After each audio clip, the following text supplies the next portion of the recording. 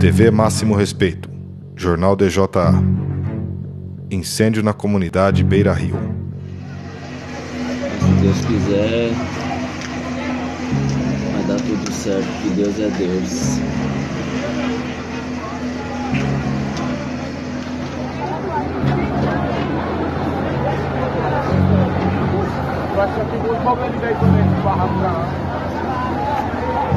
situação do incêndio que começou no início da madrugada desta sexta-feira, por volta da uma e meia da manhã.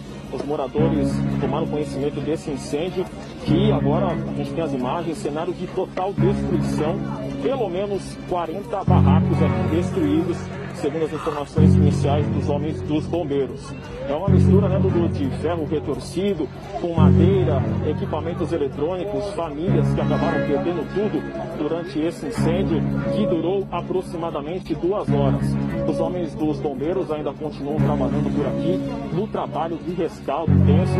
A gente consegue ver a imagem de fumaça branca, né, sinal realmente de que o incêndio foi contido, mas os bombeiros vão permanecer aqui para que nenhum foco de incêndio retome e de, continue, de repente, destruindo essa comunidade que fica aqui na zona sul de São Paulo. Pessoal, diante aqui dessa tragédia que aconteceu na Beira Rio aqui, nós temos que deixar bem claro que aqui pertence Santo Amaro. E o atendimento social aqui é simplesmente por uma cesta básica, um colchão e com kit de higiene e nada mais, tá? E nada mais.